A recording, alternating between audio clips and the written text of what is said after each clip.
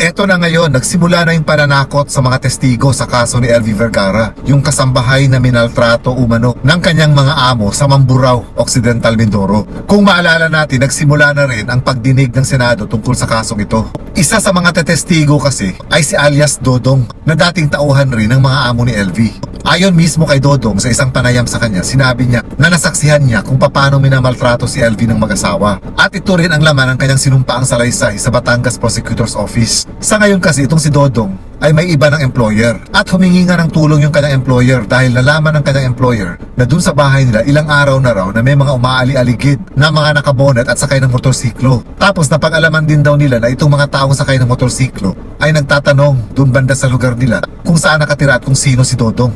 At dahil nga dito, nakarating ito kay Senate Committee Chair on Justice and Human Rights Committee na si Senator Francis Tolentino at agad niya itong inaksyonan. Nagpadala agad siya ng mga security para bantayan yung tinitirahan ngayon ni Dodong. Although hindi naman kumpirmado kung sino ang may utos nitong allegedly na pananakot na ginagawa kay Dudong. Pero syempre, wala na tayong iisipin pang iba kung hindi yung mga dating amo niya. Sa susunod na pagdinig kasi ng Senado, pinapatawag nila ang dalawa pang kasamahan ni LV na mga dating tauhan din ng mag-among Ruiz. Ito ay sina alias Patrick at alias JM. Sa sinumpaang saraysay kasi ni Dodong, na-mention niya na isa ito si Patrick sa mga inuutusan ng mag-asawang Ruiz na manakit kay LV. At ito rin palang si Dodong ay tumakas dun sa mag-asawang Ruiz dahil natakot din siya sa kanyang buhay. So ibig sabihin, doon pa lang may pagbabanta na pala sa buhay ni Dodong dahil sa kanyang mga nasaksihan. Aside kay Dodong, itong sina Patrick at JM na pinapatawag ng Senado sa susunod nilang hearing, importante rin ang magiging mga salaysay nito. Dahil siguradong magdidiin ito sa mag-asawang Ruiz na kung saan dinidinay nga nila na sinasaktan nila si LV. Pero naikwento rin kasi ni LV mismo na may mga inuutusang tauhan itong mag-asawang Ruiz para saktan siya. Pero ang isa dito sa mga pinapatawag ng Senado na si alias JM, ayon sa balita, nakatanggap daw ang legal counsel ni Vergara galing mismo sa ina nitong si JM na sa ngayon ay hindi nila alam ang kinaroroonan ni JM. It's either nawawala ito dahil sa takot o pinatahimik na. Ito yung mga madalas na problema ng mga testigo, lalong-lalo na pagdating sa mga krimen. Kaya yung ibang mga testigo nag-aalangan na tumestigo laban sa inaakusahan dahil nangangamba sila sa buhay nila at sa buhay ng pamilya nila. Kumbaga yung dating buhay nila na tahimik sana ay magiging magulo at magiging delikado pati.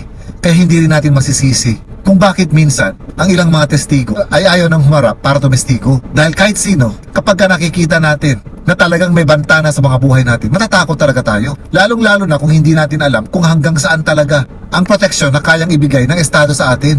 Kung minsan kasi, sinisisi pa natin yung mga taong ayaw tumestigo, na kesyo duwag, kesyo na bayaran, but the truth is, wala sa mga ito ang dahilan.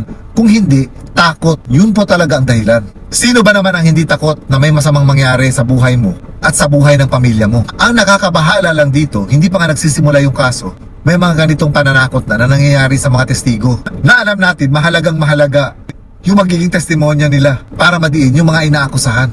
Pero maganda rin na maagang naging aware ang ating mga otoridad tungkol sa mga pangyayaring ito para nang sa ganon kung halimbawa lang na may mangyayaring hindi maganda sa kanila kahit papano naabisuhan ng mga otoridad na bago pa mangyari yun ay meron ng pagbabanta sa mga buhay nila.